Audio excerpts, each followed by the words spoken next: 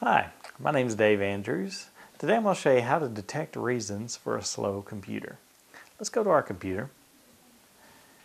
And one of the main reasons that your computer might be running slowly is that it has a lot of programs that are running in the background that you don't necessarily see on your screen. Let's click on our Start menu.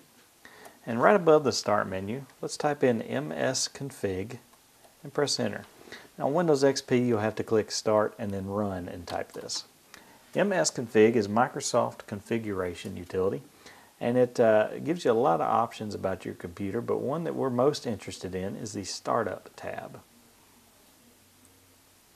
Now when the screen comes up, click on the Startup tab and this is a list of all the computers that have the capability of running, or all the programs that have the capability of running when your computer starts up.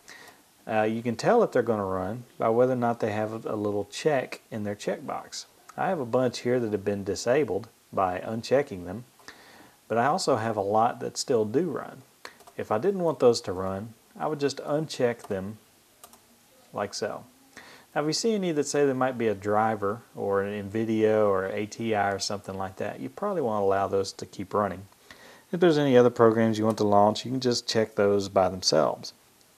But by stopping all of these programs from launching when you log into your computer, you're going to significantly speed up your computer.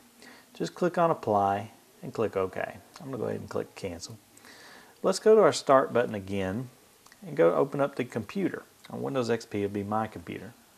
Right click on your C drive, go to Properties. We then want to go to the Tools tab and click on Defragment Now. You have to be an administrator, so just click continue. This gives you the option of defragmenting your hard drive, which will put all of the files that are stored on your hard drive in order that they can be uh, accessed more quickly by your computer. That'll have the net effect of speeding up your computer. Once this window comes up, just click Defragment Now. My name is Dave Andrews, and I've just showed you how to detect reasons for a slow computer.